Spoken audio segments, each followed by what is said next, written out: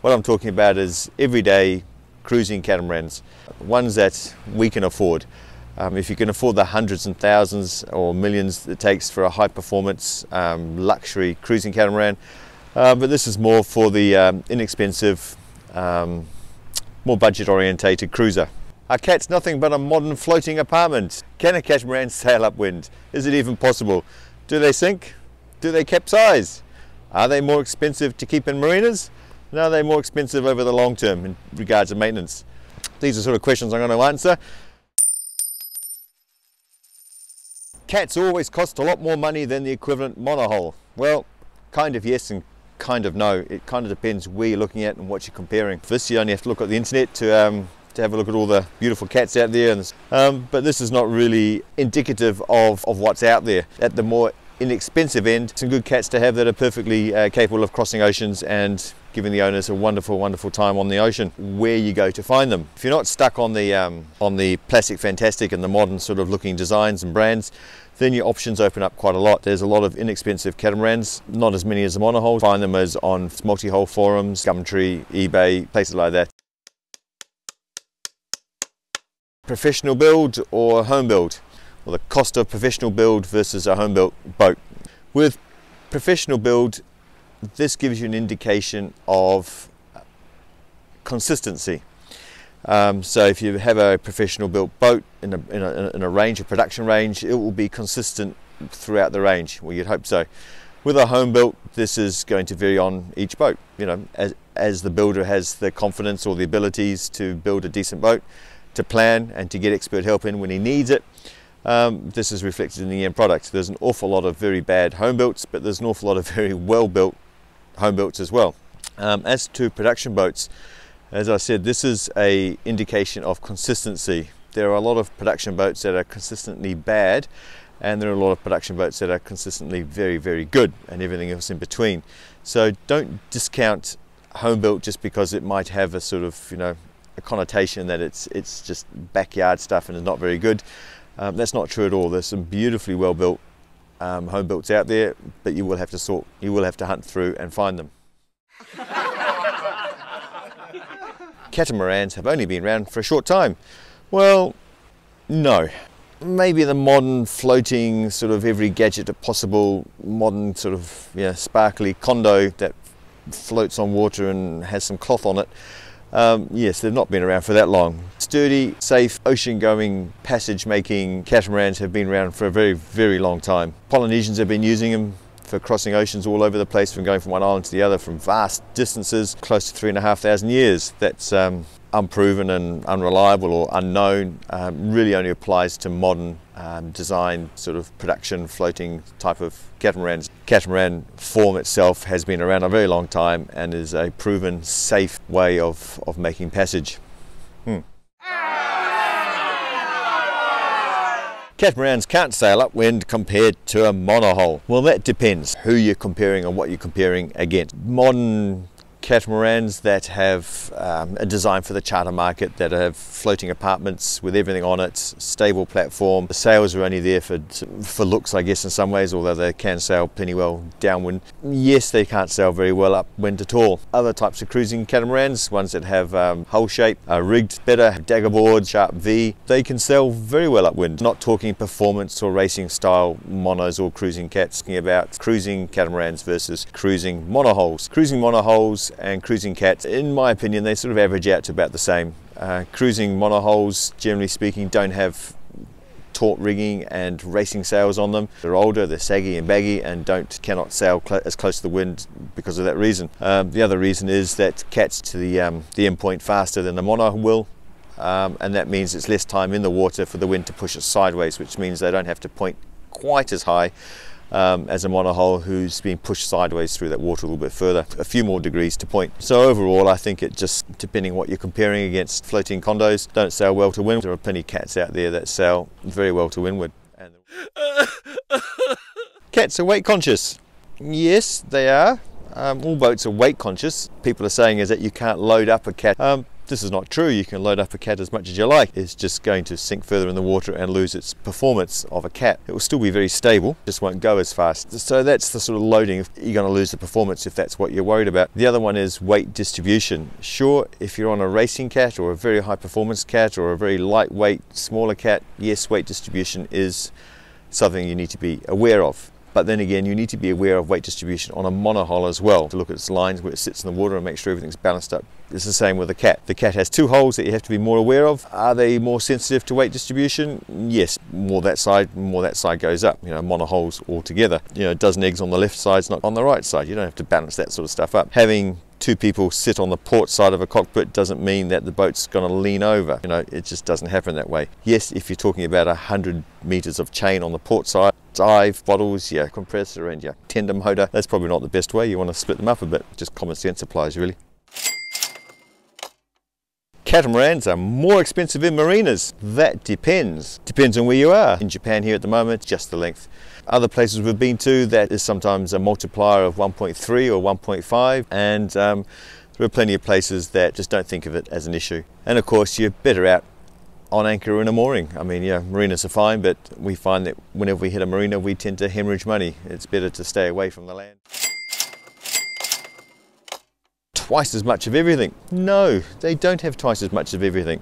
They have two hulls and two rudders, I guess. And they have two sets of motors. Well, a lot of cats have two sets of motors, but quite a few also have only one motor. Trimarans will have one motor. Uh, cats, depending on what you're buying, will also only have one motor.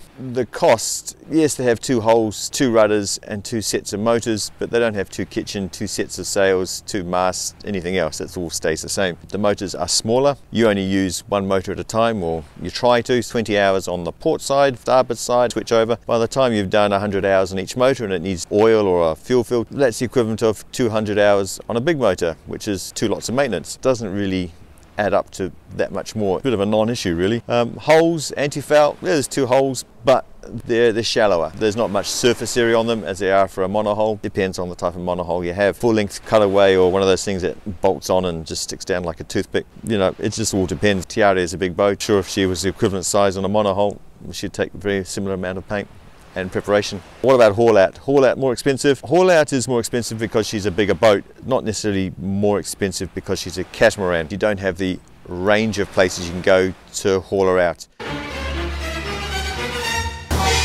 It's quite true, the cats don't generally sink. I'm sure there are cats out there that, that do sink um, or they sink sort of, you know, they're just, just below the surface of the water which when you're on it doesn't make much difference whether it's at the bottom of the ocean or just at the surface of the ocean and you're getting pounded by waves.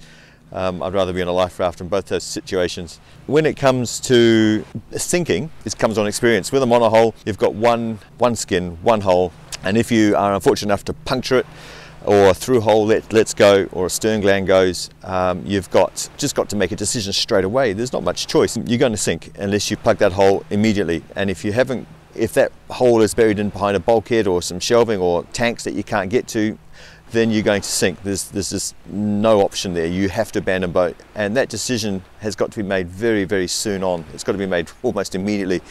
Where's the hole? Can you get to it? Can you sh shove a um, inflatable life jacket in there? Anything like that, just to, to stop it. And the time to make that decision is very short. With a catamaran, um, you've got two holes, and if you puncture one hole or a through hole goes through or something, you have time to fill up and sink that side of the cat. So it's going to go down, but you've still got one side floating. You can try a couple of solutions before things get really bad. It's not going to, to actually sink. It's my own, my own experience I've had. And whenever I'm in a monohull, anything goes wrong, you've got to make a decision most immediately. With a cat, I have more time which gives me um, a lot of peace of mind. A capsize or pitch pole, the theory here is that the monohull has a heavy weight at the bottom so it will pop back up again, uh, whereas the cat will just fall upside down and then it, you'll just never get it back up again with waves bashing all over you and it's a very unpleasant experience. A catamaran is a stable craft, it's, it's a raft basically and the chances if you've got a boat that can go fast it's going to be light and carry a lot of sail. That means it's going it's lost some of its raft characteristics its stable raft characteristics. A well-designed catamaran in terms of um, safety won't have that issue. Something will break before it falls over and that will be you know its masts or its um, sails rip which is what you want. A slow and stable catamaran is stable and a fast and tippy is tippy. Um, and so trying to find the balance in between. Most designers try and find a balance in between, but there seems to be an emphasis towards the the, um, the faster side of things. But on the other hand, if you're going for a heavy um, catamaran that's designed for liveaboard and you know not designed for performance, it's not it's simply not going to fall over. When a monohull leans over and touches its spreaders in the water due to a, a violent gust of wind or a wave action, that's called a knockdown. The the idea that it's you just pop back up again and and you're fine is just a, it's just a whole lot of bollocks. Um, a knockdown is a violent event. Um, if you've got sails up, then they're filled up with water. As the boat tries to right itself, then the mast will break, the sails will rip. Anything that was on the deck that wasn't tied down is overboard. If it was lashed down and not lashed down 100%, it's it's gone round and broken other things or broken itself. Downstairs, the best you'll come out with is a few bruises. What normally happens is that you get broken bones and ribs and um, you know dislocations. It's a knockdown is a serious event, and then you've got the guy on the back. And same with a capsize, only a capsize is a lot worse. Catamarans have an unpleasant motion. It's certainly different. It's a, it's a catamaran, not a monohull. So it's got two holes that have to push through the water, whereas a mono has one. Um, of course, the motion is going to be different. If you're used to a monohull, um, it's going to feel different. Uh, it might even feel unpleasant. Uh, but still, it's just different. If you've never been on a monohull before and you go into a cat, then a cat is what it's supposed to be. It's just not unpleasant or pleasant. It's just what it is. Um, so for me, it's just a non-issue. I actually enjoy the motion of a monohull, um, but then I, I don't have any issues with a motion on a cat either. Motion at anchor, cats kind of have it flat, you know, have it hands down on that one. Cats do roll on in a, at anchor. You know, the idea they just stay perfectly flat is just not true.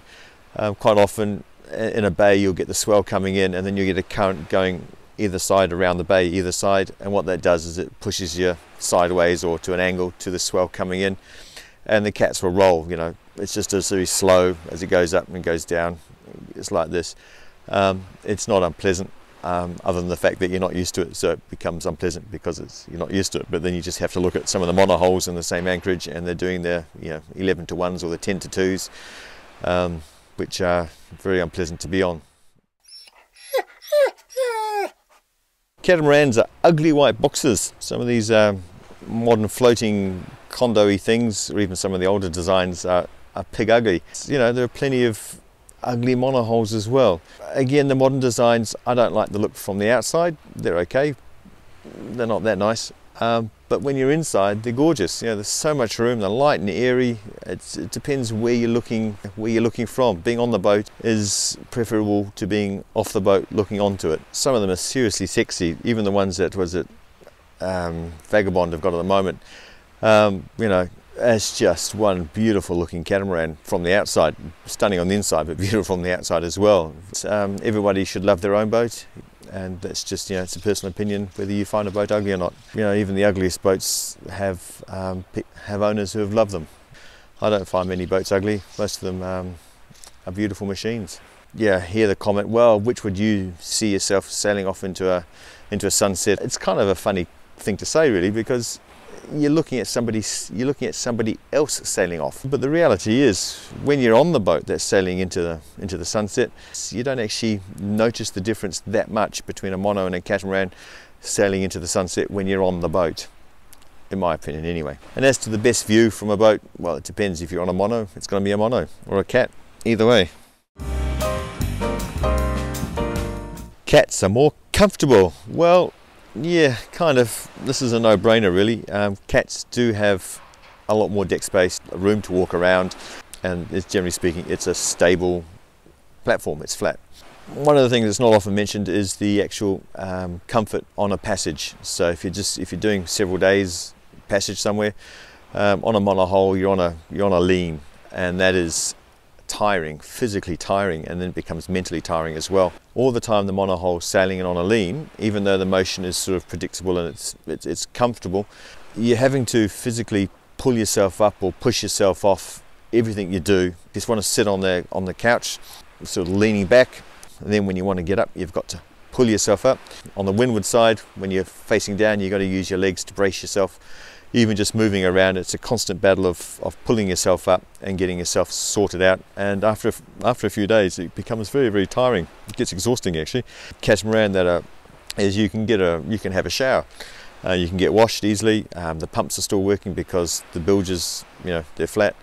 Um, and you, you, know, if you're sitting down in a shower un underway, you can sit down. You're not having to brace yourself or leaning or whatever like that. It's just nice and easy and you can cook a nice dinner easily without having to be strapped in, always hanging on to things. And then you can sit down at a flat table and put a glass of, you know, whatever down and it stays there, and knives and forks and china, it's all very doable. And what that means is at the end of the passage on a catamaran, you're already rested, you're fed, you're clean, you can just go out and sit there with a bottle of wine and just enjoy this, the sunset, whatever you want to do. Experience on monohulls coming in is that you drop the anchor, you drop the sail, then you sort of, you know, you either collapse and think, oh, I'll worry about it tomorrow, or, um, or you then start prepping dinner and noise. Catamarans can be noisy on passage or even on anchor when there's a, a chop in the harbour.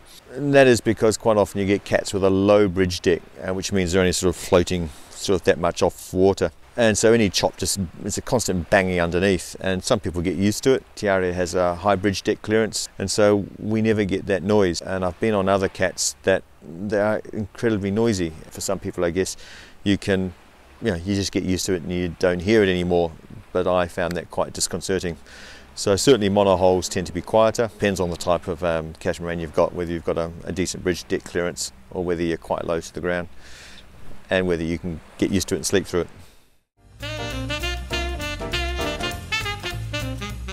So, end of the day, cat or mono? Well, for me, it's always going to be a cat. Um, not the high performance floating apartment style, but more of a simple, easy to maintain, well built, well thought through design that lets me enjoy the ocean and the time I have on it um, are really important to me. And with um, Te Aire there, I seem to have found all three. There are always compromises no matter what boat you buy. Um, but for me, um, Te Aire, being a Wharram Islander 55, is the, um, is the perfect boat for cruising uh, warmer seas. I certainly wouldn't want to go there in the, in the, um, in the Arctic or anywhere really cold, but certainly for um, the warmer temperatures, she's a perfect boat for us. I mean, it's nice to go down into monohull. You feel safe and secure. It's like a, it's like a cave or a womb of some sort. You feel really comfortable inside. However, I really appreciate the, um, the lightness, the airiness that a catamaran gives you. Awareness of what's happening outside in the environment, the, you know, the water state or the wind is just, um, I feel a lot closer to the environment when I'm living on a cat.